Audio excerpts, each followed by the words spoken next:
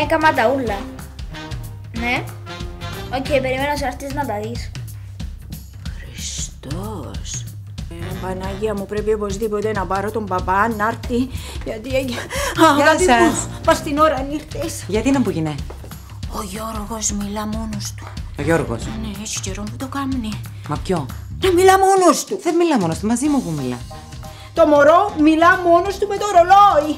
Εσύ νομίζεις πως είσαι το ρολόι. Χριστέ μου. Πρέπει να τηλεφωνήσουμε του παπά να έρθει να μας κάνει έναν αγιασμό. Η Φαμίλια. Νέο επεισόδιο απόψε στις 9 και 20 στον Αλφα Κύπρου.